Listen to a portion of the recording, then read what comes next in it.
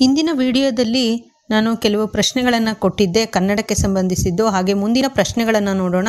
ಇಲ್ಲಿ, ಜನ್ನ ರಚಿಸಿದಂತಹ ಧಾರ್ಮಿಕ ಕಾವ್ಯ ಯಾವುದು ಅಂತ ಕೇಳಿದರೆ, ಅದು ಅನಂತನಾಥ ಪುರಾಣ. ಕನ್ನಡದಲ್ಲಿ ದಕ್ಷಿಣ, ಉತ್ತರ ಮಾರ್ಗಗಳಿವೆ ಎಂದು ಹೇಳಿದಂತಹ ಕವಿ ಕವಿರಾಜ ಮಾರ್ಗಕಾರ. ಮಿತ್ರವಿಂದ ಗೋವಿಂದ ನಾಟಕವನ್ನು ರಚಿಸಿದಂತಹವರು ಸಿಂಗಾರ್ಯ.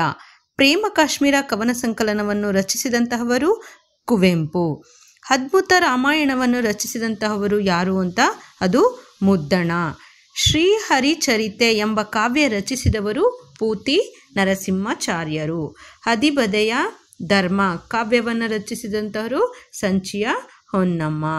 ಮುದ್ದಣ್ಣ ಮತ್ತು ಮನೋರಮೆಯ ಸಂವಾದಕ್ಕಾಗಿ ಈ ಕೃತಿ ಪ್ರಸಿದ್ಧವಾಗಿದೆ. ನೋಡಿ ಮುದ್ದಣ್ಣ ಮತ್ತು ಮನೋರಮೆಯ ಸಂವಾದ ಅನ್ನುವಂಥದ್ದನ್ನು ಎಂಟನೇ ತರಗತಿಯ ಪಠ್ಯಕ್ಕಾಗಿ ಒಂದು ಪಾಠವನ್ನು ಕೊಟ್ಟಿದ್ದಾರೆ. ಅದು ಯಾವುದರಿಂದ ಮಾಡಲಾಗಿದೆ ನೋಡಿ, ಬಹಳಷ್ಟು ಇದೆ. ಸ್ವಲ್ಪ ಭಾಗವನ್ನು ಮಾತ್ರ ಓದಿಗಾಗಿ ಕೊಟ್ಟಿದ್ದಾರೆ. ಅದು ರಾಮಾಶ್ವಮೇಧ ಅನ್ನುವಂತಹ ಒಂದು ಕೃತಿಯಿಂದ ಅದು ಪ್ರಸಿದ್ಧವಾಗಿದೆ. ಕನ್ನಡಕ್ಕೆ ಬೌದ್ಧ ಸಾಹಿತ್ಯವನ್ನು ಪರಿಚಯಿಸಿದಂತಹವರು ಯಾರು ಅಂದರೆ ಕೃಷ್ಣಶಾಸ್ತ್ರಿಯವರು. ಸ್ಮೃತಿ ಪಟಲದಿಂದ ಎಂಬ ಕೃತಿಯನ್ನು ರಚಿಸಿದಂತಹವರು ಶಿವರಾಮ ಕಾರಂತರವರು. ಹತ್ತನೆಯ ಶತಮಾನದಲ್ಲಿ ಪ್ರಸಿದ್ಧವಾದಂತಹ ಸಾಹಿತ್ಯ ಪ್ರಕಾರ ಯಾವುದು ಅಂತ ಕೇಳಿದರೆ ಅದು ಚಂಪು ಸಾಹಿತ್ಯ ಹತ್ತನೇ ಶತಮಾನದಲ್ಲಿ ಪ್ರಸಿದ್ಧವಾದಂತಹ ಸಾಹಿತ್ಯವೇ ಚಂಪು ಸಾಹಿತ್ಯ ಆಗಿತ್ತು. ಪುರಂದರದಾಸರ ಗುರು ವ್ಯಾಸರಾಯರು. ರತ್ನಾಕರ ವರ್ಣಿ ರಚಿಸಿದಂತಹ ಶತಕ ತ್ರಿಲೋಕ ಶತಕ.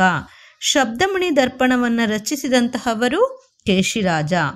ಕೆಂಪು ನಾರಾಯಣರು ರಚಿಸಿದಂತಹ ಕೃತಿ ಯಾವುದು ಅಂದರೆ ಮುದ್ರಾ ಮಂಜೂಷ. ಹದಿಮೂರನೆಯ ಶತಮಾನದಲ್ಲಿ ರಚಿತವಾದಂತಹ ಪ್ರಸಿದ್ಧ ಕನ್ನಡ ವ್ಯಾಕರಣ ಗ್ರಂಥ ಅದನ್ನು ಕೂಡ ಶಬ್ದಮಣಿ ದರ್ಪಣೆ. ಹಾಗೆ ಪದ್ಯಂ, ವದ್ಯಂ, ಗದ್ಯಂ, ರುದ್ಯಂ ಈ ಮಾತು ಇರುವಂತಹ ಕೃತಿ ಯಾವುದು ಅಂತ ಕೇಳಿದರೆ ಅದು ರಾಮಾಶ್ವಮೇಧ.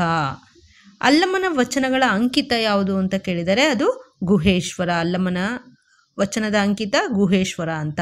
ಷಟ್ಪದಿಯಲ್ಲಿ ಕಾವ್ಯವನ್ನು ಬರೆಯಲು ಆರಂಭಿಸಿದಂತಹ ಕವಿ ರಾಘವಾಂಕ. ಇವನನ್ನು ಷಟ್ಪದಿಯ ಬ್ರಹ್ಮ ಅಂತಲೂ ಕೂಡ ಕರೆಯಲಾಗುತ್ತೆ. ಮೊದಲ ರಾಷ್ಟ್ರಕವಿ ಎಂಬ ಬಿರುದನ್ನು ಪಡೆದಂತಹ ಕನ್ನಡದ ಕವಿ ಅಂದರೆ ಗೋವಿಂದ ಪೈ ಅವರು. ಹರಿಭಕ್ತ ಸಾರದ ಕರ್ತೃ ಕನಕದಾಸರು. ಅದ್ಭುತ ರಾಮಾಯಣ ಇದು ಮುದ್ದಣ್ಣ ಕವಿ ರಚಿಸಿದಂತಹ ಒಂದು ಗದ್ಯ ಗ್ರಂಥವಾಗಿದೆ. ಕುವೆಂಪುರವರ ಆತ್ಮಕತೆ ಯಾವುದು ಅಂದರೆ ನೆನಪಿನ ದೋಣಿಯಲ್ಲಿ. ಪೂತಿ ನರಸಿಂಹಾಚಾರ್ಯ ಅವರ ಮಹಾಕಾವ್ಯ ಯಾವುದು ಅಂದರೆ ಶ್ರೀ ಹರಿಚರಿತೆ. ಕಪ್ಪೆ ಅರಭಟ್ಟ ಶಾಸನ ಇರುವುದು ಎಲ್ಲಿ? ಬಾದಾಮಿಯಲ್ಲಿ. ಪಂಪನ ತಂದೆಯ ಹೆಸರು ಜಿನವಲ್ಲಭ. ಕಾಗಿನೆಲೆಯ ಆದಿಕೇಶವ ಈ ಕೀರ್ತನಕಾರರ ಅಂಕಿತ ಯಾವುದು ಅಂದರೆ ಕಾಗಿನೆಲೆಯ ಆದಿಕೇಶವ ಅಂತ ಹೇಳ್ಬಿಟ್ಟು ಅವರು ಕಾಗಿನೆಲೆಯ ಆದಿಕೇಶವನ ಭಕ್ತರಾಗಿರೋದ್ರಿಂದ ಅವರು ಕನಕದಾಸರು ತಮ್ಮ ಅಂಕಿತವನ್ನು ಕಾಗಿನೆಲೆ ಆದಿಕೇಶವ ಅಂತಲೇ ಇಟ್ಕೊಂಡಿದ್ರು. ದಲಿತ ಸಂಪ್ರದಾಯದ ಕವಿ ಅಂತಲೇ ಕರೆಯುವಂಥದ್ದು ಡಾಕ್ಟರ್ ಸಿದ್ಧಲಿಂಗಯ್ಯನವರಿಗೆ. ವಾಕ್ಯಂ ರಸಾತ್ಮಕಂ ಕಾವ್ಯಂ. ಈ ಸೂತ್ರವನ್ನು ಹೇಳಿದಂತಹ ಕನ್ನಡ ಭಾಷಾ ತಜ್ಞರು ಯಾರು? ವಿಶ್ವನಾಥ. ಇಷ್ಟು ಕನ್ನಡಕ್ಕೆ ಸಂಬಂಧಿಸಿದಂತಹ ಕೆಲವೊಂದು ಪ್ರಶ್ನೆ ಮತ್ತು ಉತ್ತರಗಳು ಮತ್ತಷ್ಟು ಪ್ರಶ್ನೆಗಳೊಂದಿಗೆ ಮುಂದಿನ ಅವಧಿಯಲ್ಲಿ ಭೇಟಿಯಾಗೋಣ. ಧನ್ಯವಾದಗಳು.